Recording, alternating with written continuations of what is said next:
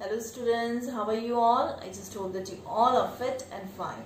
Now students, uh, as you all know uh, that you all are having your half-yearly examination in the month of October and uh, 80 marks will be for your paper and uh, 20 for your home assignments or homework.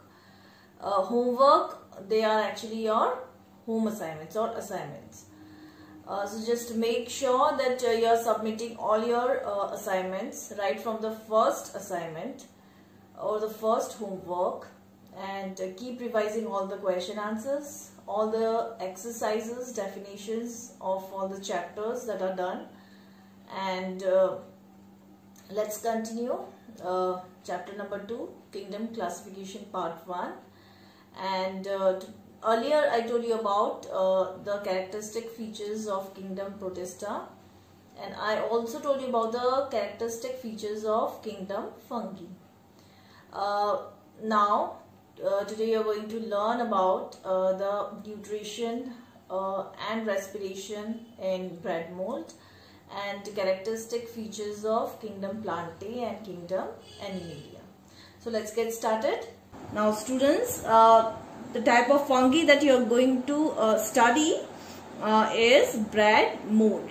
Now you must have observed a white, white uh, cotton-like growth uh, with black spots on moist bread or on stale bread or stale food. So that cotton-like structure or growth is known as bread mold. Now uh, these bread molds, they, what they do, they causes diseases in humans. If ingested, uh, they can cause food poisoning. So we are going to uh, study its structure and its mode of nutrition. Now this bread mold, uh, it looks like this. Okay, now uh, I'll tell you what it is uh, in detail now. Bread mold is multicellular fungi. That means it has many cells. And these are thread-like filaments uh, called hyphae. Now these are hyphae, okay? These are filaments like structure and these are hyphae. And they collectively, they are known as mycelium, okay?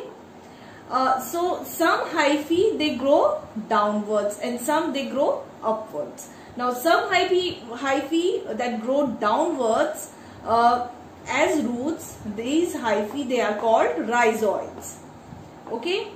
and some hyphae that grow upwards like this uh, then they these are called sporangiophore what they are called? They are called sporangiophores now these sporangiophores what they bear? They bear spores in them.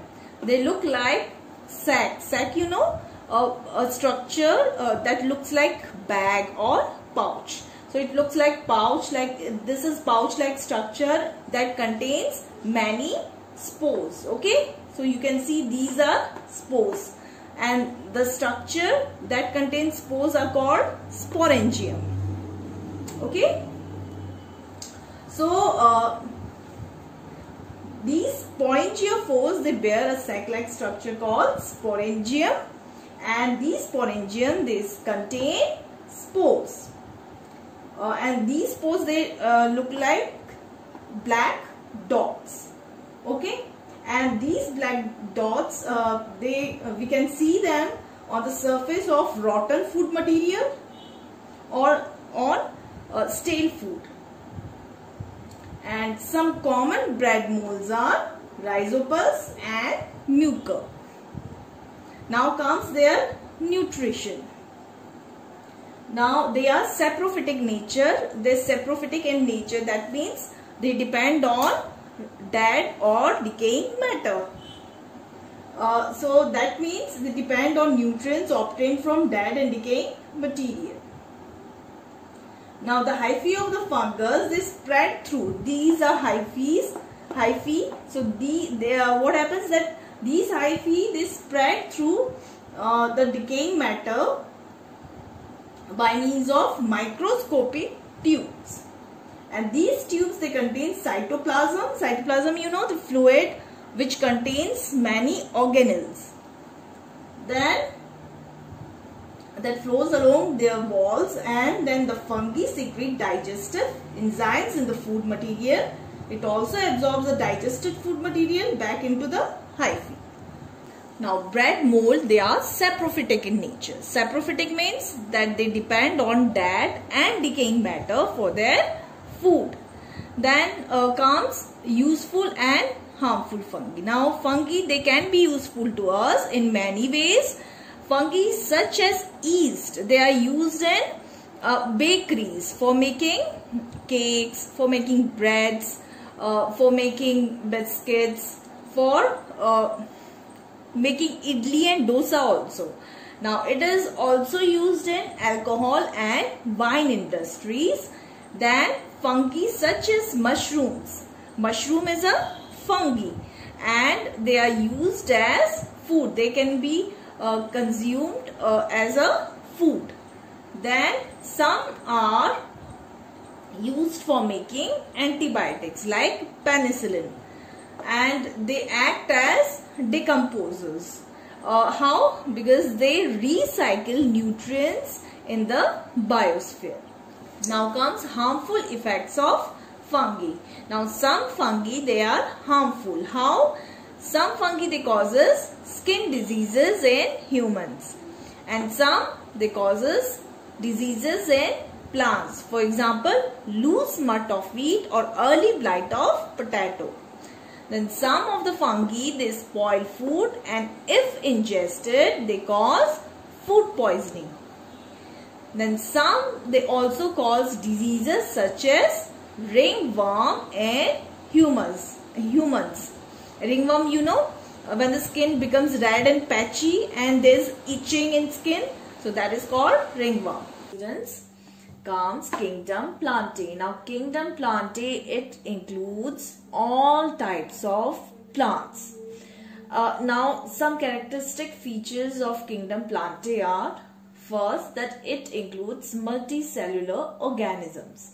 Multicellular organisms I told you organisms having many cells and plants i told you plants and animals they are multicellular. So it includes all the multicellular organisms. That means it includes all the plants. Now they are eukaryotes. Eukaryotes means they have well defined nucleus. Then comes plant cells are covered from outside by cell wall made up of cellulose. Now uh, uh, plant cells they have uh, got this cell wall okay? And cell wall is a uh, characteristic feature of plant cells. Animal cells they don't have cell wall. Now uh, a mature plant commonly possesses a single large central vacuole bound by tonoplast now, uh, plant, uh, the mature plant, they have the single large central vacuole. Now, what is this vacuole? A vacuole is a space in the cytoplasm of a cell. Uh, which is enclosed by a membrane and usually contains substances dissolved in water. So, what is the function of this vacuole? Uh, vacuole actually uh, it um, the function of this vacuole in a cell is that it stores various substances uh, including waste products of the cell. And most of the animal cells uh, they do not have this vacuole. Okay? And uh, some animal cells they have vacuoles but they are much smaller than those found in plant cells then comes uh, reserve food of plant uh, plants is starch and lipids uh, like in the form of oils and fats. So the food uh, they store in them they are either sugar, uh, starch and lipids that is in the form of oil and fats. Then comes they have plastids. Now what are plastids? Plastids uh, they are actually the organelles that contains pigments uh, that means that are responsible for the green color to the plant and uh, they actually manufacture and they store these pigments then comes the body is differentiated into roots, stem, leaves and flowers. Now all plants they have got roots, They have got stems, they have got leaves and flowers. Now mode of nutrition is photosynthetic. That means they all uh, prepare their food using sun's energy. That means they synthesize their food using sunlight. Then comes green colored pigment is present in their leaf cells.